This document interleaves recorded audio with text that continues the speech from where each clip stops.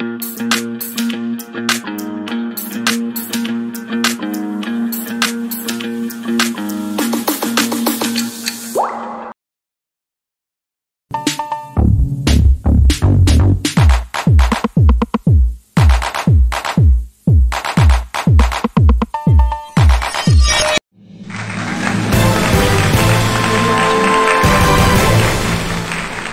thank you so much for subscribing to the Buzz UG. And in case you haven't, kindly subscribe and also tap on the bell for all the notifications. Happy Heroes Day. I hope that this day is amazing for you. My name is Melads Milo, aka Fula. Well, I have news coming in from the NUP camp, that is National Unity Platform camp. I also have bad news coming in from Faridah Nakazibwe's camp, so stick around as I take you through all that. Now, starting off with uh, the National Unity Platform camp, uh, recently during the State of the Nation address, uh, President Museveni said Uganda is now a middle income country.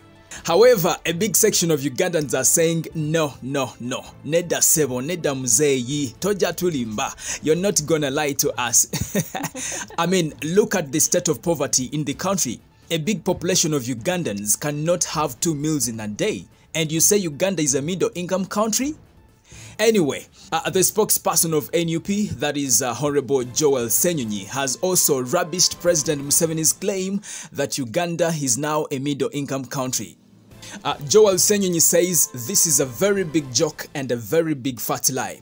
He says President Museveni promised us a middle income status by 2020, but it came and passed, and the only excuse he gave us was COVID 19. And Joel furthermore says President Museveni this year in January at the celebrations of Tarehe Sita, he said Uganda is going to achieve a middle income status by 2026. And here he comes five months later and he announces that Uganda is now a middle income country. Joel says, Museveni, please stop being a joke to Ugandans. However, a big section of Ugandans have attacked Joel Senyonyi and, you know, these other opposition members of parliament who are busy negatively criticizing President Museveni's State of the Nation address.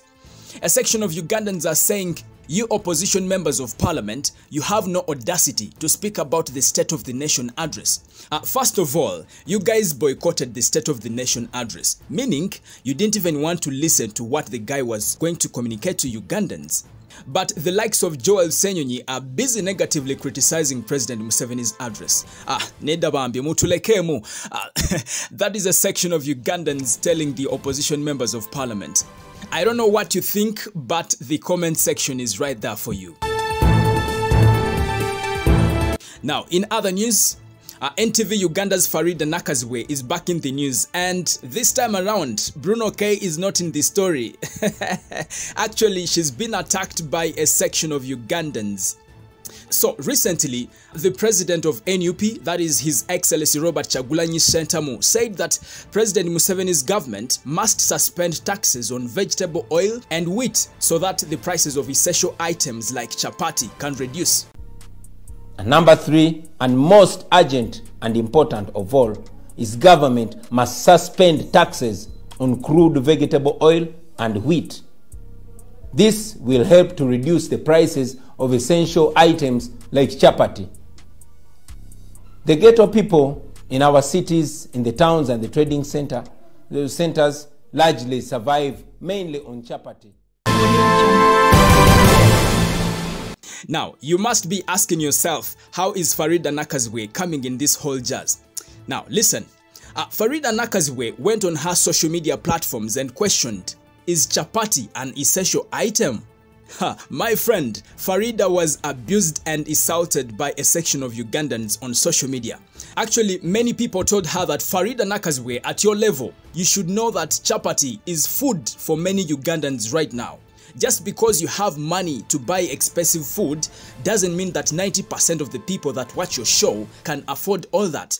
Uh, some people called her dull. You know, I don't want to repeat those big, big words people are using to describe her. But I should say, Faridah Nakazibwe has been harshly scolded by a big section of Ugandans. They are not happy at all. Anyway, that's what I got for you from Faridah Nakazibwe's Camp, and I'll keep you posted. Yes, I'll keep you posted. But if you have any comment, just put it in the comment section. Yeah, uh, what you have to do: subscribe to the Buzz UG in case you haven't, and also tap on the bell for all the notifications. Very few people to make uh, 18k subscribers. I'm very grateful, you guys. Thank you so much for subscribing, and uh, our target is still at 20k subscribers, and I believe we shall be achieving that very very soon. Just keep it right here on the Buzz UG. Thank you.